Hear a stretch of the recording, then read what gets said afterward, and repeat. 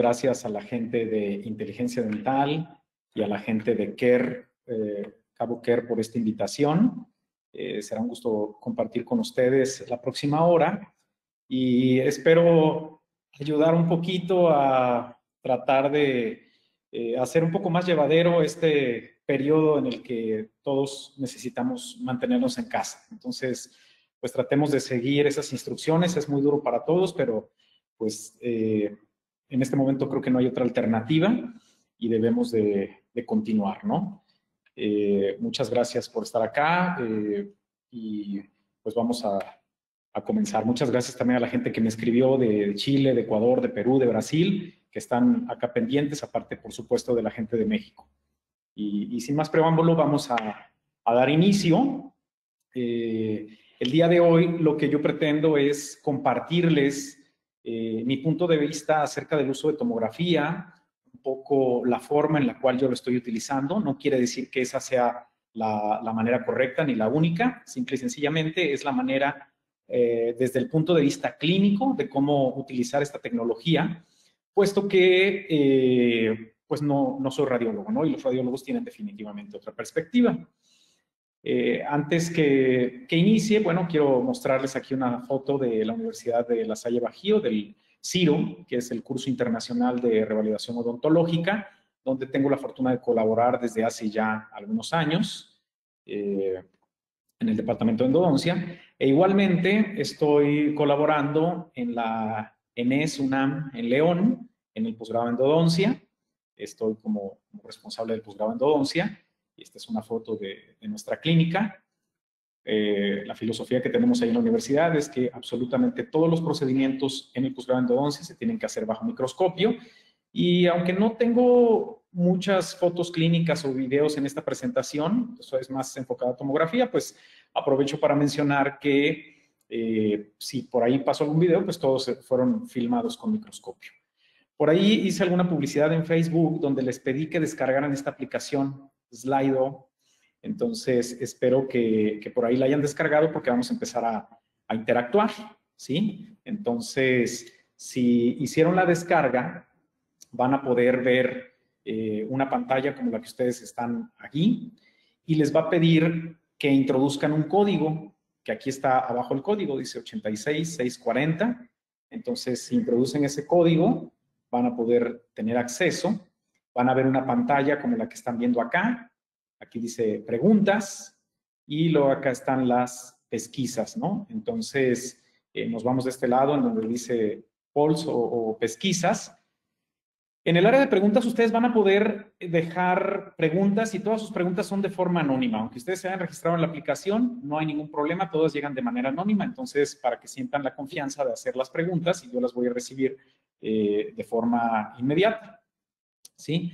Entonces, vamos a hacer una prueba ahorita de, esta primer tanda de preguntas para ver si, si están todos conectados con la aplicación. Si por ahí alguien no puede eh, conectarse, también está este código QR que si le toman una fotografía, pues entonces con eso van a poder eh, unirse.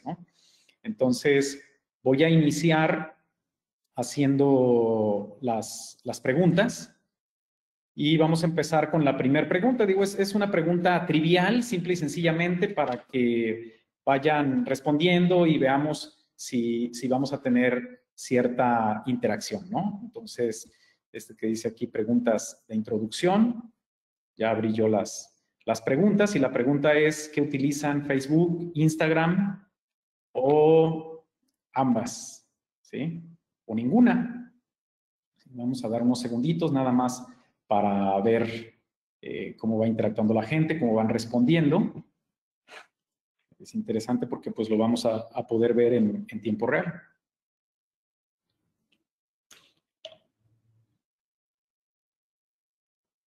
Bueno, es simplemente una, una prueba. Voy a cortar ahí las, las preguntas y vamos a pasar a la siguiente pregunta, ¿sí? La voy a cortar.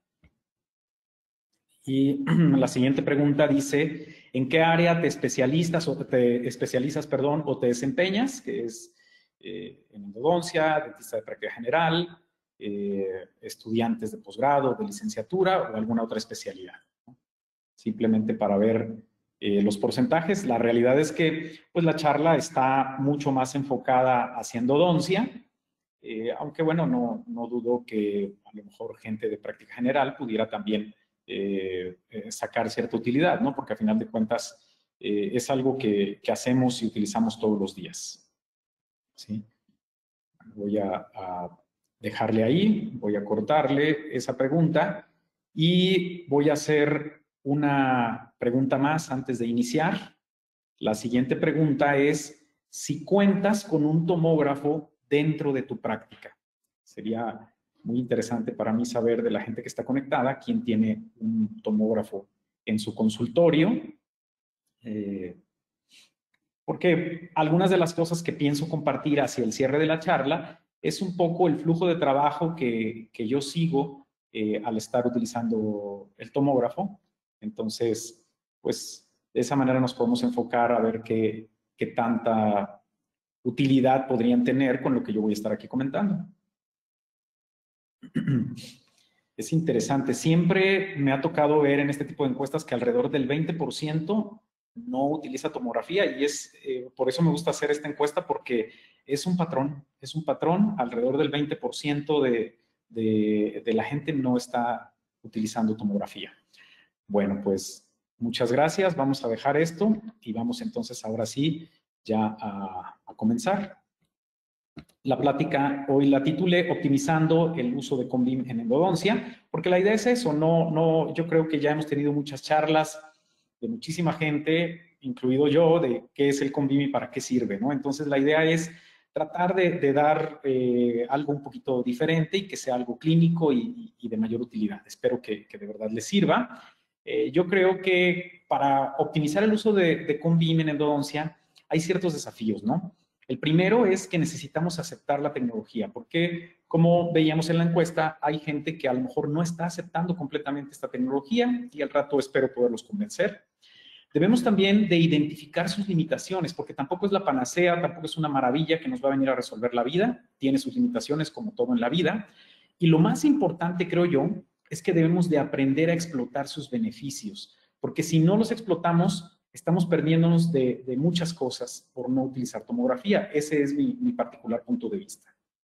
Entonces, eh, vamos a, pasar a una pregunta más, ya que se familiarizaron un poquito con la aplicación. Lo que van a hacer, ustedes ven aquí en la pantalla, y esto es lo que ustedes van a ver en su celular, ¿sí? Ahorita. Y entonces, eh, lo que van a hacer aquí es darle clic en esto de acá arriba y van a ir a cambiar evento, donde está acá, ¿sí? Y entonces van a tener que introducir un código nuevo, que ahorita yo se los voy a, a pasar, ¿sí? Yo me voy a regresar y entonces voy a estas que dicen optimizando el convim y va a salir este código, código nuevo que, que ahora hay que ingresar, 29475. Y entonces, con ese código nuevo, vamos a hacer otras preguntas para eh, interactuar aquí también nosotros, ¿no? La primera pregunta sería, si utilizas eh, tomografía en tu práctica. Sí, en una buena cantidad de casos, no nunca u ocasionalmente. Ya vimos que hay personas que, no lo están utilizando, hay personas que tienen su práctica, hay personas que no, pero eh, habemos personas, y, sé que es una pregunta que va a venir durante la charla, en la que estamos utilizando tomografía casi para todos los casos. Eh, hay gente en el mundo, o, tal vez acá en México, no lo sé, que ya lo está utilizando absolutamente para todo. Y creo que la mayoría de la gente lo está utilizando en, eh, eh, de manera selectiva, de manera ocasional. Vean cómo nuevamente se repite, siempre es alrededor del 20, 20 y tantos por ciento la gente que no está utilizando tomografía y, que probablemente no, no, este, no lo está incluyendo en su práctica. ¿no? Entonces es algo eh, bien interesante. La siguiente pregunta sería, eh, ¿cuál es la indicación más común por la cual solicitas una tomografía? Ustedes pueden escribir aquí la pregunta en, su aplicación y le dan enviar y van a empezar a salir las, las, respuestas. La, eh, razón que sea por la cual ustedes mandan una tomografía. Solo escriban la, pregunta y le dan enviar. ¿sí? Lo van a ver así en su, en su celular. Aquí pueden escribir y luego le dan enviar. Porque será interesante también ver, ver las, las indicaciones que la gente tiene, ¿no?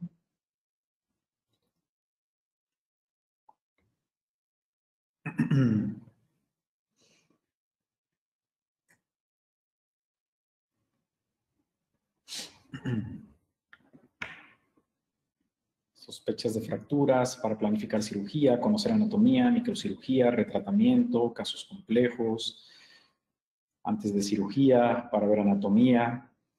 Eh, si nos damos cuenta, pues todos estamos utilizando, la gente que lo está utilizando, lo estamos utilizando más o menos de la misma manera. Entonces, por eso es que menciono, pues, no es que vamos a descubrir el negro, voy a mencionar prácticamente los mismos usos que ustedes están utilizando, simple y sencillamente voy a mostrar la manera en la que yo lo utilizo para esas mismas indicaciones que ustedes mismos están ahí escribiendo.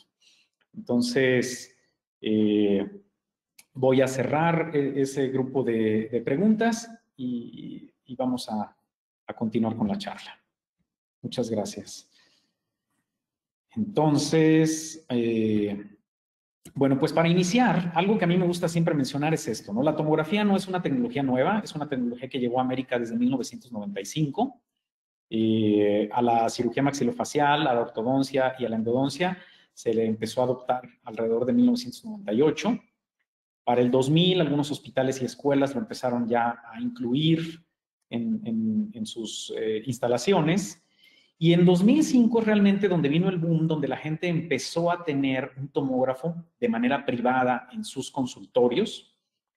Y pues hoy hay literatura que menciona que en los Estados Unidos alrededor del 50% de las oficinas de los endodoncistas tienen un tomógrafo en su oficina, pero el 80%, aunque no tenga tomógrafo en su oficina, está empleando tomografía, que repite lo mismo que estuvimos viendo en esta encuesta, por eso se me hace tan interesante, ¿no? Alrededor del 20% no utiliza tomografía ni en Estados Unidos, ni, aquí en México, al parecer, o en América Latina, por, la gente que mencioné que está conectada de, otros países de América, ¿no? Entonces, eh, a mí me gusta mencionar esto, ¿no? Hay gente que no acepta, hay gente que acepta. Eh, la gente que lo acepta dice que lo utiliza solo cuando él sabe que se requiere y por eso les pedí esa lista en donde, bueno, ¿cuándo es que ustedes creen que se requiere? Eh, porque en realidad hay varias situaciones, ¿no? Eh, mucha gente dice, pues precisamente lo utilizo cuando no sé, cuando no sé qué es lo que tengo que hacer, cuando son casos complejos, y hay gente que lo estamos utilizando casi de rutina. La gente que no lo acepta dice que no lo necesita, hay gente que no lo utiliza y es muy válido porque dice, no sé ni para qué sirve, para qué hago gastar al paciente, para qué le doy radiación al paciente. Y hay gente que sabe, pero no quiere. Dice, no, yo no lo voy a utilizar, yo no lo necesito. Entonces, eh, menciono siempre esta situación. ¿no? La gente que, no acepta, que sabe la importancia, pero no lo utiliza, pues eh, yo quiero compartirles, por ejemplo, un, artículo como este, ¿no? que es, es un artículo publicado del grupo de Shannon Patel, donde yo entiendo que es muy subjetivo eh, medir el estrés de la gente, pero a mí se me hace muy interesante las conclusiones que sacan en este artículo, ¿no? Porque ellos lo que hicieron fueron tres grupos. Un grupo en el cual les dieron a los, a los alumnos radiografías periapicales nada más para que hicieran sus tratamientos de endodoncia, a otro grupo les dieron radiografías periapicales y tomografía, y al tercer grupo les dieron radiografías periapicales, tomografía, pero les dieron un, entrenamiento especial en cierto software para que lo supieran utilizar. Y entonces estos fueron los resultados. El nivel de estrés fue moderado en la gente que tuvo radiografías periapicales nada más. En cambio, en la gente que tuvo tomografía y radiografía periapical, el estrés fue ligero en casi todos, o sea, no llegó a moderado ni mucho menos alto. Y la gente que además recibió un entrenamiento especial en el software, ¿sí? El 65% mostraron estrés ligero. ¿Qué quiere decir esto? Yo siempre digo, la ventaja de utilizar tomografía es que te da más seguridad de lo que estás haciendo y entonces pues te sientes más tranquilo, más confiado y menos zozobra cuando uno está haciendo los tratamientos.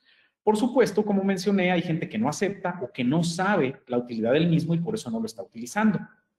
Pero yo espero que después de esta plática, que sea informativa, pues empiecen a utilizarlo esas personas que no lo utilizaban porque no sabían para qué servía. La gente que cree que no lo necesita, me gusta compartir este caso, ¿no? En este caso, nosotros vemos un tratamiento muy deficiente que tiene una fístula y ahí se ve clínicamente esa, esa fístula. Entonces, eh, podemos empezar a debatir qué es lo que está ocurriendo, si está perforado, si está transportado, eh, si está fracturado, pero yo creo que difícilmente podríamos imaginar, aunque hubiéramos pensado que había una perforación, en una perforación como esta. Y esto es algo muy importante. Esa, la única manera de obtener esa información es por medio de una tomografía y esa información tangible que nos ayuda muchas veces a cambiar o a planificar nuestros tratamientos. Entonces, yo creo y espero que después de esta charla, eh, todos, todos, todos incrementen la cantidad de tomas que están haciendo de sus pacientes Digo, yo, yo no percibo ningún fin, a menos que estén en León, Guanajuato y quieran mandármelos a mi oficina. Realmente yo no, no obtengo un beneficio en que manden más tomografías, pero lo que yo creo es que deberían de tener ustedes el beneficio de tener tomografías en sus eh, eh, prácticas para planificar sus casos. Entonces, vamos a ver un poco las aplicaciones y los desafíos que esto tiene. Creo que el tomógrafo es una excelente herramienta preoperatoria aunque también se puede utilizar de manera intraoperatoria y de manera posoperatoria. Entre los desafíos que tenemos con la tomografía está la resolución, que al rato lo voy a explicar, la presencia de artefactos, que es algo inherente de la endodoncia, y la interpretación, que es un problema también que tenemos porque no tenemos un entrenamiento tan especializado como lo tienen los radiólogos. Entonces, vamos a empezar a desglosar un poquito esto. La parte preoperatoria, donde más se utiliza, y así lo mencionan los libros, es en morfología dental, identificación de periodontitis apical, resorciones y anormalidades de estructuras circundantes. Entonces, ah, como mencioné hace un rato, el chiste aquí es hacer diagnóstico y planeación. Y la tomografía nos ayuda muchísimo para hacer diagnóstico y planeación. Por ejemplo, este es un caso en el cual ya habían hecho tratamiento, ya habían retratado, ya habían hecho exploración quirúrgica y no encontraban qué era lo que estaba sucediendo. Entonces, vean cómo con una simple tomografía, utilizándolo de manera apropiada, pues encontramos algo que no nos imaginábamos porque no es tan común que un canino tenga por ahí esta eh, raíz extra que está ahí. Entonces, de ahí la, la gran ventaja de estar utilizando eh, esta tecnología que nos ayuda a cambiar nuestros tratamientos y a planificar de una mejor manera. Eh, por supuesto que si nosotros vemos una radiografía como esta, es clarísimo, no necesito hacer una tomografía para darme cuenta que eh, hay un conducto que no se trató en la raíz mesial, ¿no? Sin embargo, sí me puede ayudar una tomografía a planificar de una mejor manera cómo voy a abordar ese caso. Hay artículos como este en el cual nos dice, ¿no? Que si el material de obturación se recorre por lo menos medio milímetro del centro, entonces eh, con eso es, es, suficiente para que nosotros eh, sepamos que hay otro conducto aunque no lo estemos viendo. Y e información muy interesante en este, en este artículo, porque fue un artículo de retratamientos, 42% de los fracasos tenían que ver con un conducto que no fue tratado, y el 89% de los casos que tenían asimetría tenían eh, ese conducto sin tratar. ¿no? Entonces es algo, eh, desde mi punto de vista, muy interesante porque es el pan de cada día para nosotros como endodoncistas. Y el tomógrafo nos puede ayudar a esto, ¿sí? Este es una reconstrucción tridimensional que ayer justamente en un chat por ahí platicaba que mi amigo Enrique González fue quien me enseñó a utilizar esta aplicación porque eh, sobre todo a utilizarla de manera dinámica, ¿no? Como lo pueden ver aquí, con una reconstrucción de eh, dinámica del interior del conducto, como si fuera una endoscopía. Eh, hay algunos softwares que permiten hacer esta reconstrucción, pero esta reconstrucción muchas veces es estática y aquí es, dinámica, ¿no? Entonces, ah, hace el, año antepasado se publicó este artículo en el cual tuve la fortuna de participar con, el grupo de, Jorge Martins, de, que está en Portugal, en el cual medimos la, la, frecuencia de presencia de MB2 eh, basado en tomografía. Entonces hay dos cosas que a mí me gusta destacar de, esta publicación. Número uno, vean cómo toda la gente en el mundo está utilizando tomografía. Eh, es un estudio multicéntrico de muchos países. Y el segundo, bueno, es que no es que esto sea la ley, pero con esto nos podemos dar una idea de la frecuencia que nosotros tenemos en la presencia del MB2, como nosotros vemos aquí en México, está alrededor del 84-85%. ¿Sí? Eh, ¿Y por qué me gusta siempre hacer tomografía en el primer molar superior? ¿Sí? Vean, estas son fotografías, créanme que son como los últimos cinco o seis pacientes que vi, que dije, bueno, voy a tomar las tomografías y siempre encontramos algo distinto. Si ustedes ven las anatomías en la parte superior, primero está el corte axial y luego está el corte coronal. Entonces vean cómo se ve como, como un riñoncito el MB2, después en el, en el otro que está a la derecha superior se ve como un poco más calcificado, después abajo del lado izquierdo son cuatro conductos y cuatro raíces, pero las dos raíces mesiales están fusionadas y se ve perfectamente en el, en el cuadro del centro abajo.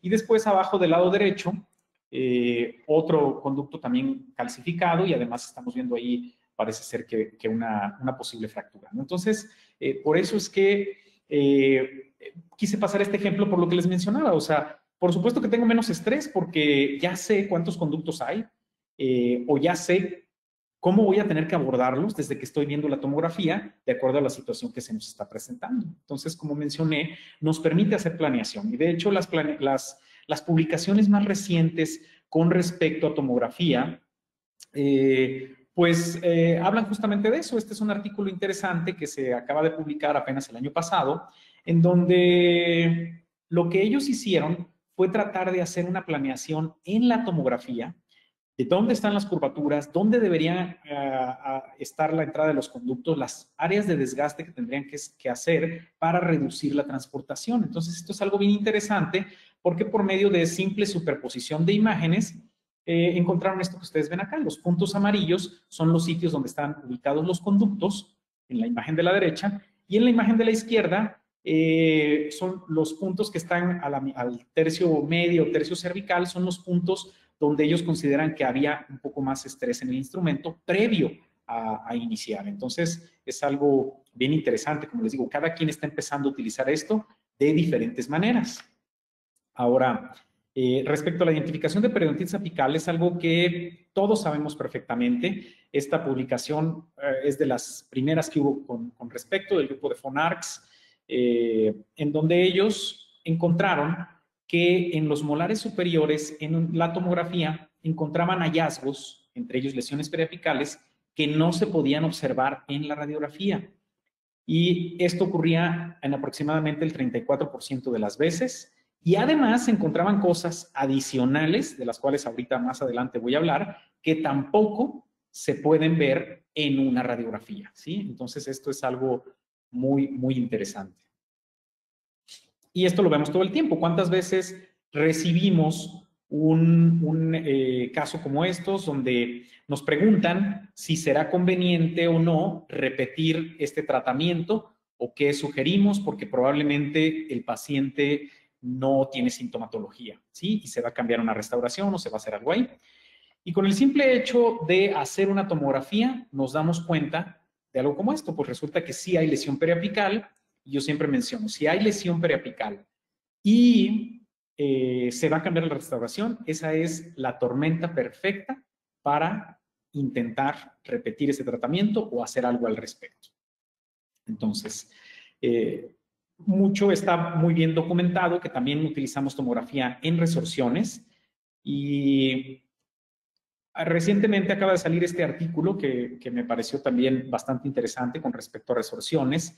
Eh, por supuesto que ya sabemos que en las resorciones podemos nosotros hacer un mejor diagnóstico de ellas, podemos delimitarla de, una mejor manera, pero eh, algo que, que también podemos hacer es planificar, como por ejemplo aquí, vemos exactamente hasta dónde está, vemos exactamente por dónde podríamos abordar. Y de hecho, pues es, una situación bastante interesante que se está empezando a dar, ¿no? El utilizar terapia pulpar vital para eh, eh, abordar este tipo de casos y no necesariamente hacer el, eh, el tratamiento de conductos en todos los casos. Entonces, son de las cosas que son interesantes, conociendo perfectamente los límites y hacia dónde está, pues entonces vamos a poder abordar estos casos de una manera distinta. Otra de las cosas que también eh, son muy interesantes es que nosotros eh, tenemos ciertas anormalidades de estructuras circundantes que no podemos percibir cuando nosotros estamos eh, utilizando simple y sencillamente radiografías. Necesitamos utilizar tomografía. Entonces, vemos este caso que está ahí. Ustedes ven del lado izquierdo la radiografía, del lado derecho es la tomografía, se observa ahí una lesión periapical y entonces la pregunta que yo lanzo con respecto a esto es eh, cómo se le llama al engrosamiento de la membrana del seno que se observa en esta imagen. Me encantaría eh, obtener las respuestas de ustedes y de hecho voy a pasar nuevamente a la gráfica de preguntas para que ustedes, por favor, puedan responder. ¿sí? Si tienen abierta la aplicación, acuérdense, el código es 29475 y entonces nos vamos a las respuestas. Yo por ahí les doy algunas opciones que son mucositis, osteoperiostitis, sinusitis o no sé. Vamos a dar unos, eh, segunditos más para, obtener la, respuesta.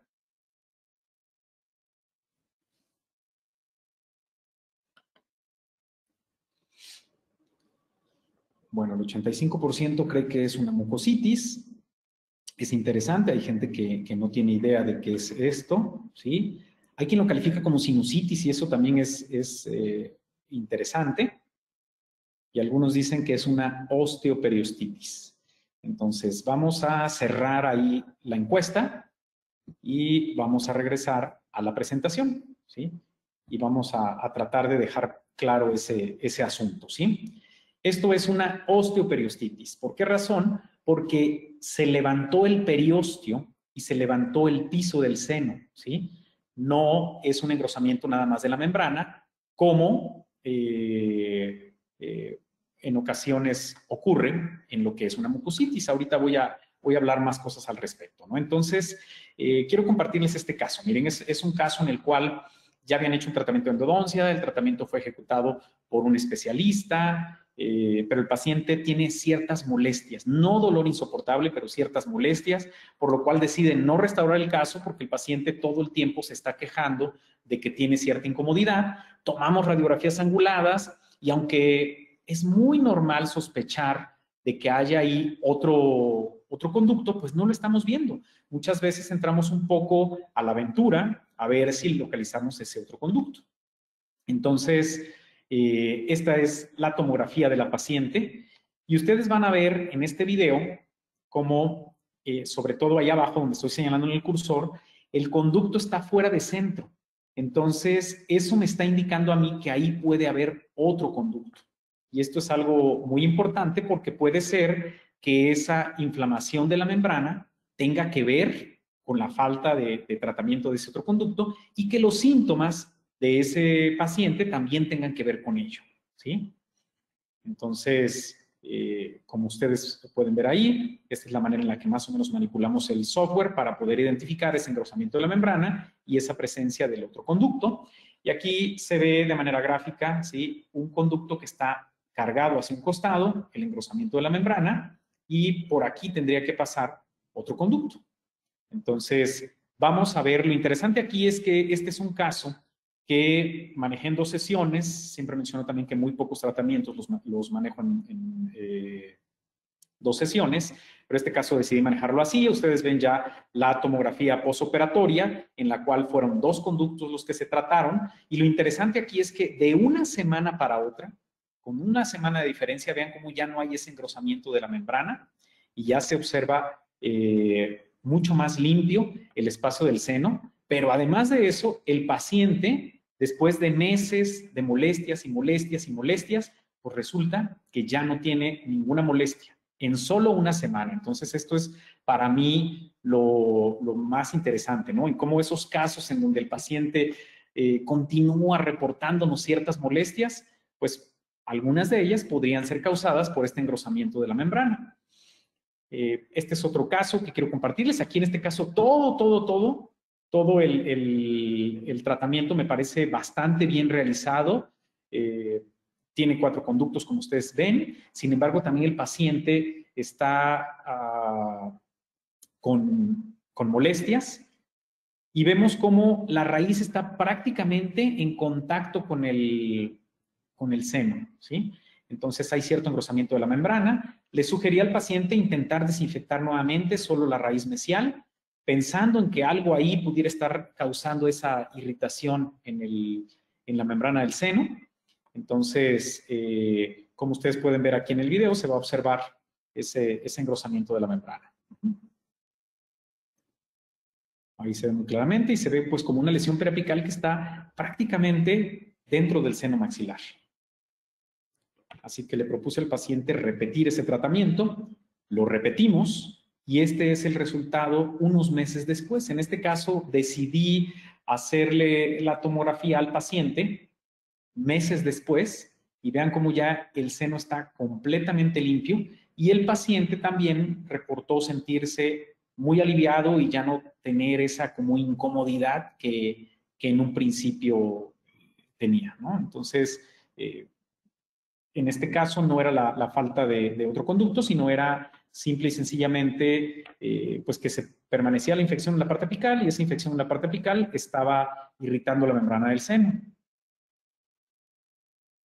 Entonces, eh, ahora les presento este otro caso. Vean, se observan los senos está eh, prácticamente llenos, ¿sí? están ocupados. Entonces, vamos a ver aquí, no sé qué pasó, que se empezó a repetir.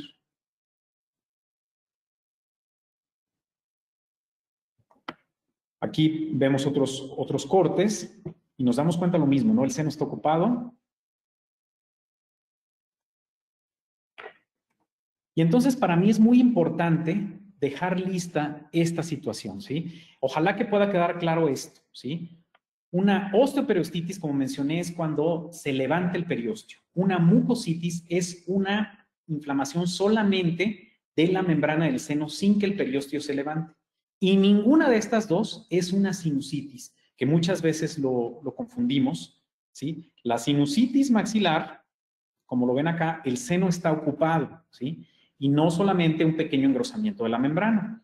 Esto es algo muy importante porque son tres conceptos con los que si empezamos a utilizar tomografía nos debemos de familiarizar. Osteoperiositis, mucositis periapical y sinusitis maxilar, porque son cosas completamente diferentes y las tres podrían tener origen odontogénico. Esto no es algo nuevo, ¿sí? Esto es algo que fue publicado a mediados de los noventas, ¿sí? Y esto es eh, vean la calidad de las tomografías en ese tiempo, porque apenas se estaba iniciando con esta situación. Y ellos lo que trataron de asociar fue los defectos endoperio, ¿sí? Cómo producen ese engrosamiento de la membrana.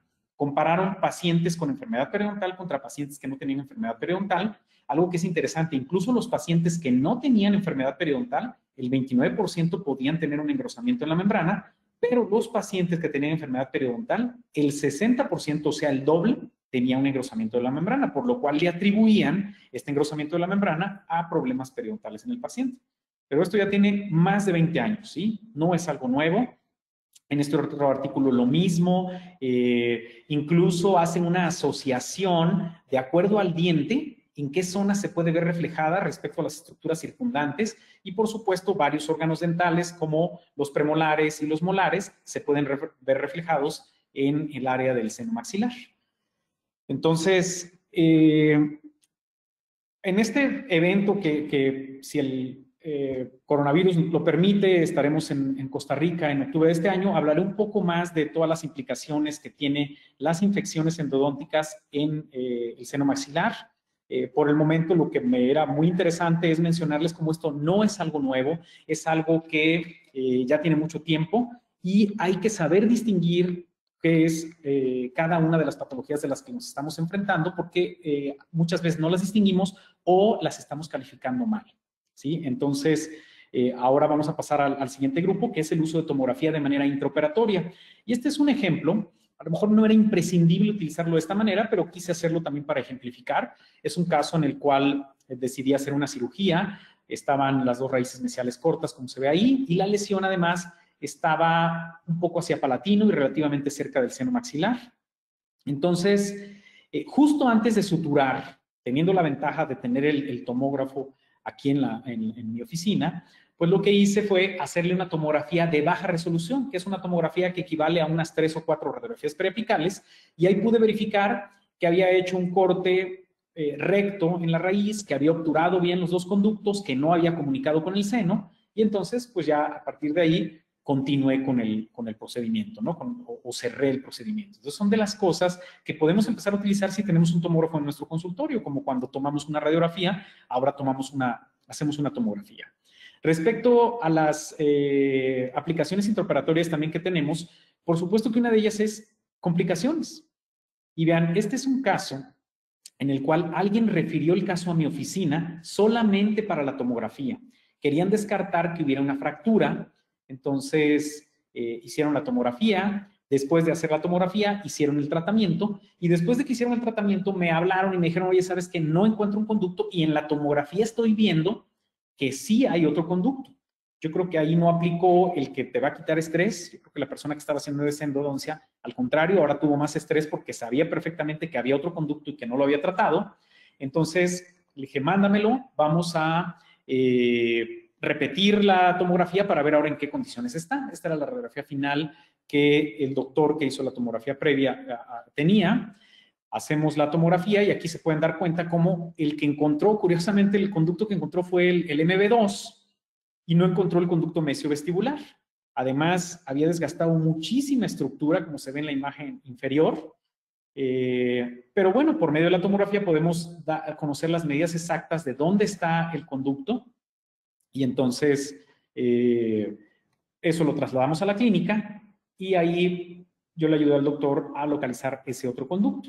Sellamos incluso la perforación con, un biosilicato y bueno, vamos, es un caso relativamente reciente, pero a lo que voy es que la planificación por medio de la tomografía nos permitió resolver ese caso. Ahora, de manera posoperatoria, ¿cómo podemos utilizar la tomografía? Este es un caso en el cual, es un caso mío, en el cual me llegó con este tratamiento inicial del lado izquierdo en 2017 y este es un control un año después. Entonces, en la radiografía se observa que no ha cicatrizado por completo la lesión periapical, se ve de manera difusa y, yo quería comparar cómo se observa en la tomografía. Vean cómo en la tomografía inicial del 2017 la lesión se veía enorme y ya para el 2018 la lesión se ve ahora muy pequeña. Entonces, no sé si ustedes perciban lo mismo que yo, pero en esta radiografía no estoy tan contento como que no me gusta el hecho de que no se vea completamente reparado después de, más de un año, pero después de comparar el tamaño de las lesiones, pues la verdad es que sí me deja bastante contento la tomografía del lado derecho porque está casi reparada y la lesión era muy, muy grande. Entonces, podemos empezar a hacer ese tipo de, comparaciones haciendo tomografía postoperatoria. O a veces hay casos como estos, esta es una cirugía apical que, yo hice y en el cual en la radiografía yo no veía gran reparación, entonces eh, hice una tomografía y vean lo que estaba pasando. Lo que sucede aquí es que el, hueso de la lámina bucal no se ha repuesto todavía. Esto era como unos seis, ocho meses después de la cirugía y entonces eso daba la impresión de que todavía había una lesión periapical. Pero en realidad, si yo recorro eh, un poquito la tomografía y abordo un poco el hueso eh, esponjoso, entonces ahora sí se va a ver reparado. Entonces, eh, pues a mí me da cierta tranquilidad el, darme cuenta que efectivamente sí está habiendo cierto grado de, reparación. Ahora vamos a dar un poco un giro a esto y vamos a ver los desafíos que nosotros tenemos en la tomografía, como lo son la resolución, la presencia de artefactos y la interpretación. Eh, estos tres desafíos son muy serios y muy importantes en endodoncia, ¿sí? Entonces vamos a, tratar de, de, ver esta situación les voy a pedir nuevamente que vayan a las preguntas porque quiero hacerles unas preguntas antes de que continuemos. Acuérdense aquí, se van a donde dice cambiar evento y van a ingresar un nuevo código que ahorita les voy a dar. ¿Sí? Vamos a ir con este nuevo código que es el 77450. ¿sí? Entonces vamos aquí y la primera pregunta que yo les quiero hacer es, ¿dónde te entrenaste para usar tomografía? porque esta es una realidad que hoy nosotros tenemos, ¿sí? Eh, creo que el escaso entrenamiento que hay en el uso de, tomografía, por ahí me pone alguien que, en el posgrado, eh, las generaciones más recientes, pues me imagino que se están entrenando en, el posgrado, eh, pero hay mucha gente que no ha recibido ese, ese entrenamiento, ¿no? Entonces, pues es interesante saber esta situación, ¿no? Ahí va creciendo un poco las respuestas y la mayoría de la gente se está entrenando eh, hoy en día ya en los posgrados, lo cual es muy bueno. Seguramente es gente joven la que está respondiendo esas preguntas, ¿no? Y mucha gente autodidacta, en pláticas. Entonces, ok. Bueno, vamos a cortar ahí las preguntas y vamos a regresar a la charla. Muchas gracias por, responder. Y vamos a, la parte de resolución, que esto es algo súper importante para endodoncia, ¿no? Nosotros en tomografía tenemos algo que se llama resolución espacial y contraste, ¿sí? Entonces, resolución de contraste. Y esto es importante, ¿por qué? Porque la resolución espacial, si ustedes ven del lado izquierdo, no tenemos una buena resolución espacial, por eso no podemos distinguir muy bien el espacio del ligamento periodontal, muy bien ni siquiera el trabeculado óseo, y conforme incrementa esa resolución espacial, la imagen del extremo de la derecha, podemos ver perfectamente el contorno de los dientes, el espacio del ligamento periodontal y el trabeculado. Entonces, la resolución espacial es muy importante para nosotros en endodoncia. Sin menospreciar ninguna otra actividad, quizá para alguien que va a colocar un implante, no es tan importante la resolución espacial porque lo que va a ver es simplemente el hueso, la posición, el grosor, cierto grado de densidad y con eso va a tomar una decisión. Pero nosotros en endodoncia, del lado izquierdo, tal vez no pudiéramos tomar la mejor decisión como si si tenemos una imagen como la del lado derecho. ¿Sí? Y aquí les voy a poner un ejemplo. Este es el mismo paciente que se tomó a eh, la misma, eh, los mismos parámetros de radiación, 6 miliamperes, 89 kilovolts, del lado izquierdo vean la imagen y del lado derecho cómo van a ir cambiando, ¿sí? Y son el mismo equipo, los mismos parámetros, pero diferente resolución espacial. Entonces, por eso es muy importante saber seleccionar la resolución espacial, porque no solamente los parámetros eh, que se utilizaron para hacer la captura influyen en la imagen, sino la resolución espacial. Y esa resolución espacial tiene que ver con el tamaño del voxel. Entonces, por eso quise hacer esta tablita, ¿no? Los usuarios de tomografía que no tienen un tomógrafo en su oficina, lo que tienen que hacer es siempre solicitar un FOB pequeño y un voxel pequeño, especificar en las órdenes que les mandan a los gabinetes, a las oficinas donde sí tienen tomógrafos, que, que lo tomen de esa manera para que tengan mucho mayor resolución espacial. Y los operadores de tomógrafo deben de familiarizarse con endodoncia, sobre todo la gente que, mucha gente que tiene tomógrafo, que opera tomógrafos, pero que no hace endodoncia y entonces no se da cuenta de la importancia de esta resolución espacial. Entonces, lo mismo, tratar de hacer FOB pequeño siempre, voxel pequeño, y muchas veces se puede controlar incluso parte de la resolución espacial con el miliamperaje. Eso ya depende muy, de manera muy específica con cada tomógrafo. Este es un ejemplo de un trabajo que hicimos con la doctora Karina Loaiza y Janine López, eh, un par de exalumnas, en donde precisamente comprobamos eso que, estamos mencionando, ¿sí? El tamaño del voxel, cómo influye. Estas son dos tomografías eh, a diferente tamaño de voxel y lo que encontramos fue esto, ¿no? Incluso se, extrajeron los dientes y se cortaron para ver la presencia de, los dos conductos. Lógicamente eran, eran cadáveres. Y entonces, eh, pues de esta manera nos podemos dar cuenta, ¿no? Es mucho más sensible y específico hacer una tomografía con un tamaño de voxel pequeño cuando nosotros estamos buscando un conducto extra. Entonces, esto es muy importante, por eso la resolución espacial en endodoncia es sumamente importante. La resolución de contraste también es importante porque nosotros tenemos material de obturación, coronas, restauraciones, instrumentos, y si no hay una buena resolución de contraste, no los podemos distinguir como está ahí. Pero esto no tiene que ver con resolución espacial, esto tiene que ver con contraste en la tomografía. ¿Y por qué nos, es importante la resolución de contraste? Porque nosotros también podemos manejar un poco esta resolución de contraste y vean cómo en el primer ejemplo parecía que el seno estaba limpio y después de manejar un poquito el contraste nos damos cuenta que no, que hay un cierto engrosamiento de la membrana. Entonces tenemos que aprender a manejar los contrastes. La parte de los artefactos es una situación que también es muy interesante porque en endodoncia no podemos quitarnos los artefactos, vivimos con ellos.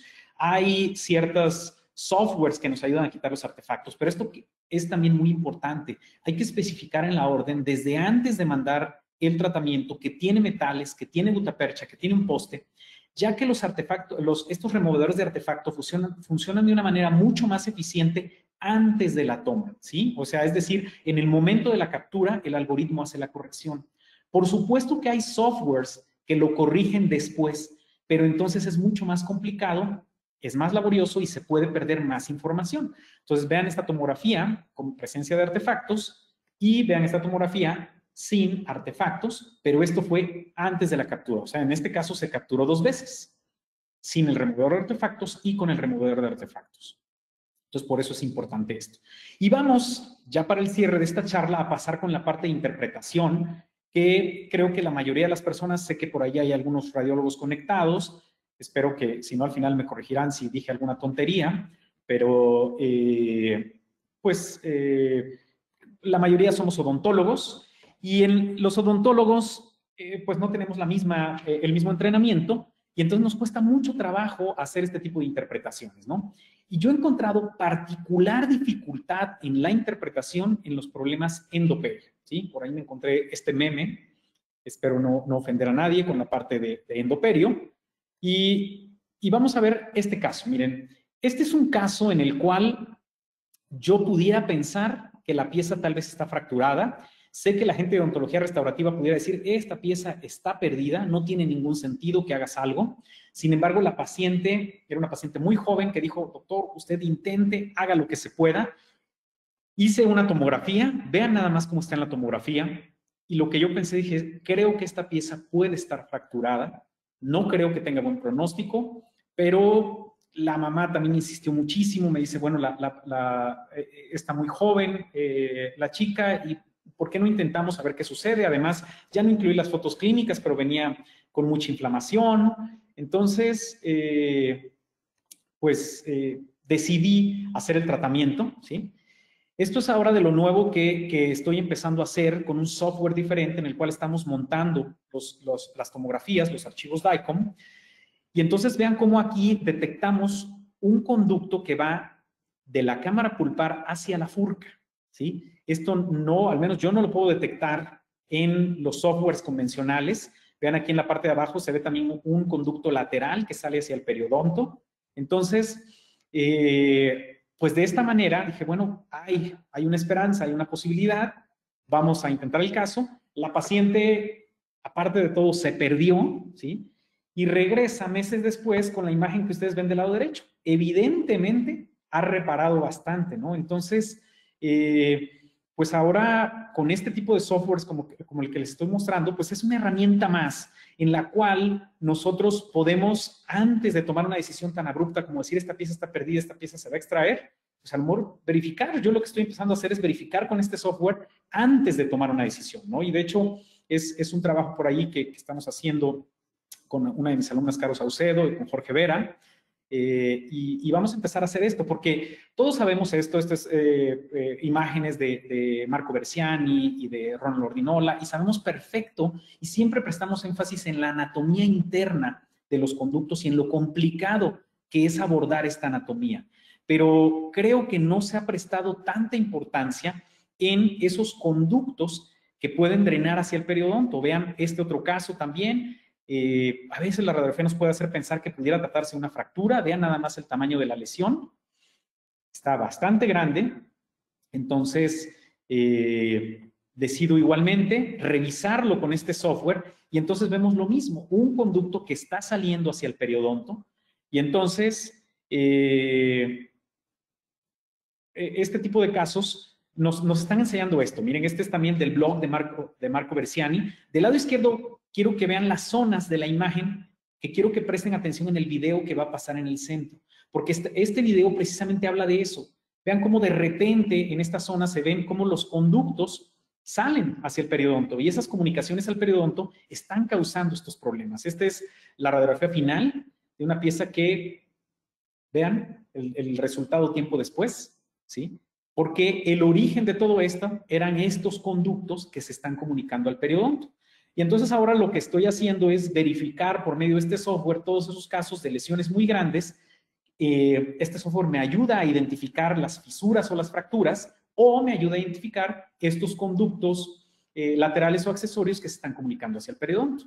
Y entonces ya no tan abruptamente en estos casos donde se ve una lesión enorme, donde con un poco de experiencia pensamos que pudiera estar fisurado o fracturada, ahora prefiero siempre descartar con este software, porque me doy cuenta que eh, muchas veces depende un poco de esta manipulación el poder localizar esas fisuras, esas fracturas o información adicional, como estamos viendo aquí. Aquí manipulamos el software y el software no da para más, me da esa información de que está comunicado con el periodonto, eh, pero muchas veces esto no es suficiente. Y vean cómo manipulando de manera adecuada, navegando, dedicándole un rato, podemos identificar las fracturas y las fisuras que muchas veces no vemos de primera mano, ¿sí?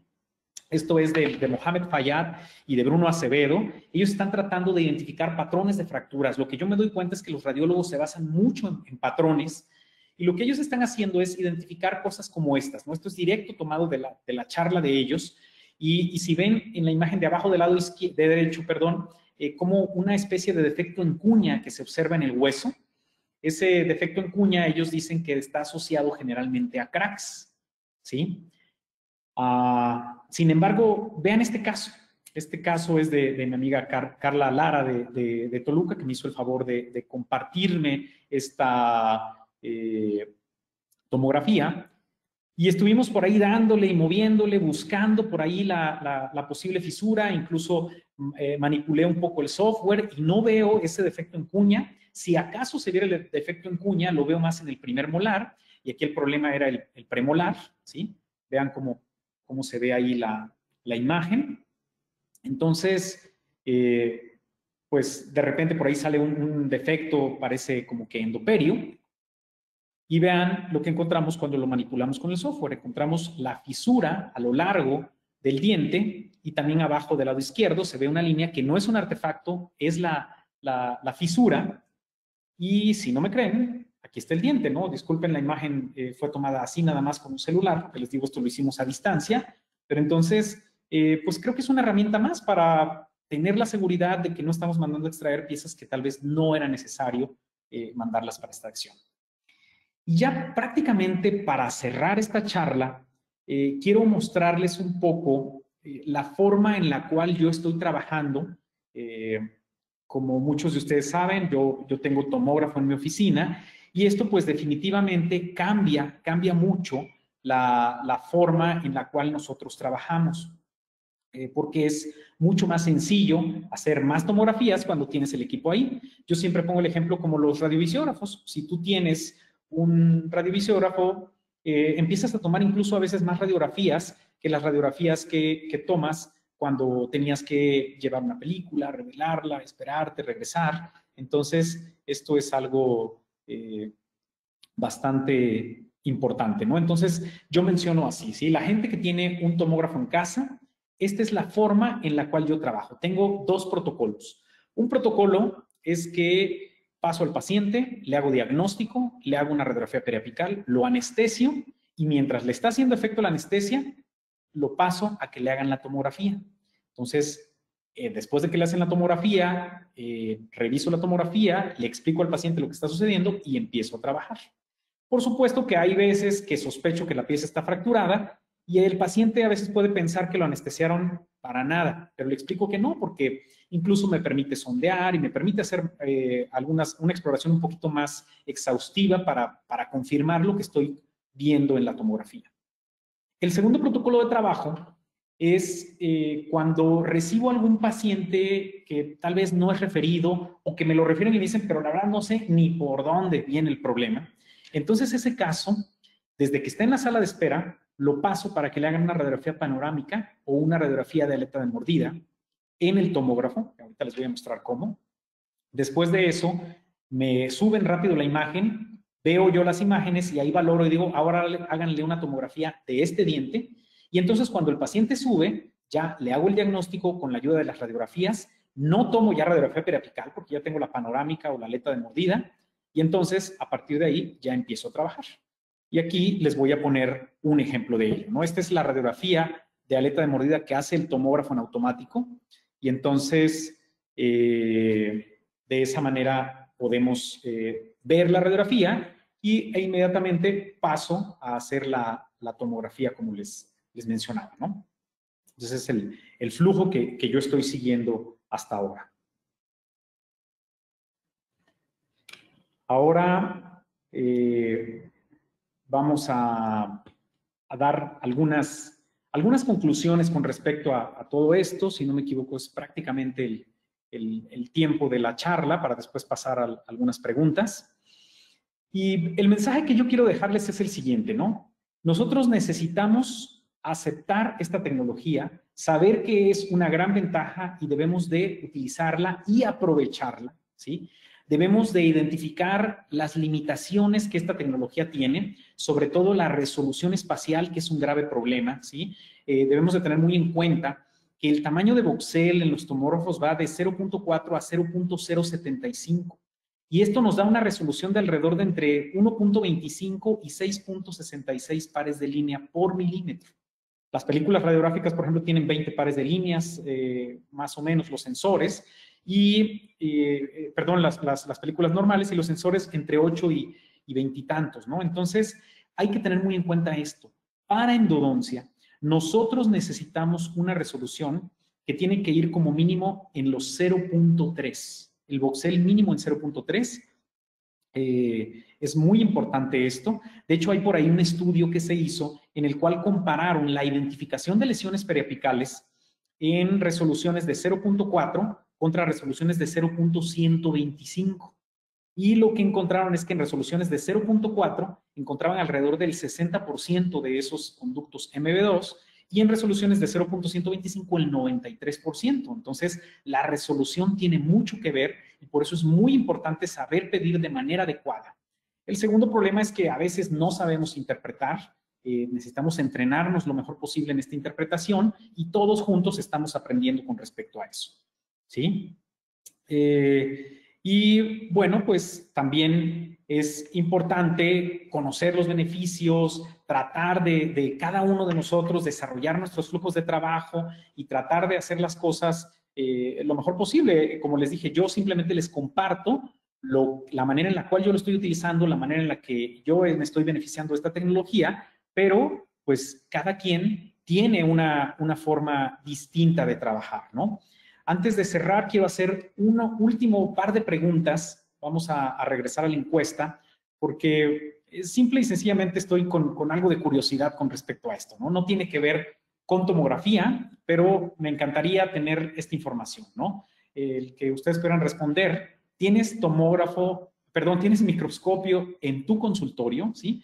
Es algo que es muy interesante el saber de la población, eh, que está conectada y, en general de los endodoncistas, eh, cuántos estamos trabajando con microscopio y, cuántos no, porque yo creo que hoy el uso de tomografía va de la mano, va completamente de la mano con el uso de microscopía. Hoy la tomografía te permite resolver casos que, que, no podías resolver porque no los estabas visualizando, pero para ello necesitas herramientas como el microscopio que te permitan ir un poquito más allá, ¿no? Entonces, por eso es que que quiero hacer esta pregunta porque es algo bien curioso, ¿no? El, tomógrafo es una herramienta preoperatoria, pero al final la ejecución tiene que ver con el microscopio.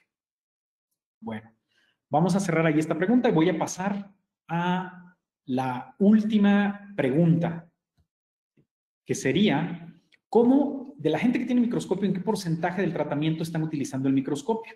¿Sí? Lo están utilizando durante todo el tratamiento, la mayor parte del tratamiento, solo para procedimientos específicos o lo tengo pero no lo utilizo, que también es interesante, ¿no? Por ahí puede haber alguien que diga, ¿sabes qué? La verdad es que yo no me sentí cómodo, no lo estoy utilizando, no estoy entrenado en ello y, esto también es, es muy interesante, ¿no? Entonces, vamos a esperar un poquito a que la gente responda para ya pasar al cierre de la charla. Increíble, ¿no? Si hay, gente que, no lo está utilizando a pesar de que lo tiene, entonces yo los invito, aunque son muy poquitos, a que lo utilicen, a que aprovechen este beneficio porque verdaderamente es una maravilla. No, la verdad es que no, no hay razón para tenerlo y, no utilizarlo, ¿no? Al igual que la tomografía. Yo estoy seguro que cuando entren en este mundo de la tomografía, ya no van a querer regresar y como les decía yo hace un momento, van a, querer utilizar cada vez más y más y más casos con tomografía. Bueno, muchas gracias por su participación, por sus respuestas. Eh, antes de, de, despedirme, también quiero invitarlos a este curso que vamos a tener a mediados de septiembre con Bruno Acevedo y William Scarf autores de, este libro de, tomografía. Pretendemos hacer el, el hands-on más grande que se haya hecho en México acerca del uso de tomografía. No nada más nos vamos a enfocar en endodoncia, vamos a, estamos invitando gente incluso de otras áreas y, vamos a tratar de darles eh, tips y, y, beneficios de cómo explotar mucho mejor la tomografía en sus áreas, ¿no? Obviamente nos vamos a enfocar mucho más en endodoncia, pero también gente de otra área va a poder beneficiarse de esto, ¿no? Y bueno, pues eh, algunas personas me han estado contactando, preguntándome acerca de, cursos en esta situación del, del COVID-19, pues varios cursos se han cancelado y por ahí se me ocurrió esta idea, ¿no? Vamos a empezar a tener para la gente que me ha contactado algunos cursos online, uno a uno, ¿sí? Eh, la idea es tener un sistema avanzado de educación exclusivo y personalizado para quien esté interesado. Eh, vamos a desarrollar este proyecto tratando de ayudarlos a cómo interpretar un poco mejor sus tomografías, aclarando que no soy un radiólogo, pero pasándoles los tips que desde el punto de vista clínico estamos eh, nosotros utilizando, cómo navegar en el software, cómo mejorar los parámetros de, acuerdo a los equipos que ustedes están utilizando. Entonces, pues los que estén interesados, por ahí me pueden contactar por, por Facebook, por Instagram, o Twitter, y, eh, o si no, pues de la manera tradicional, ¿no? Mediante la página de internet o mediante un, correo electrónico, ¿sí? Eh, bueno, pues muchísimas gracias por eh, estar acá, por participar en esta conferencia. Nuevamente, gracias a la gente de Inteligencia Dental, a la gente de, Cabo Care. Por acá estamos en, León, Guanajuato, a sus órdenes.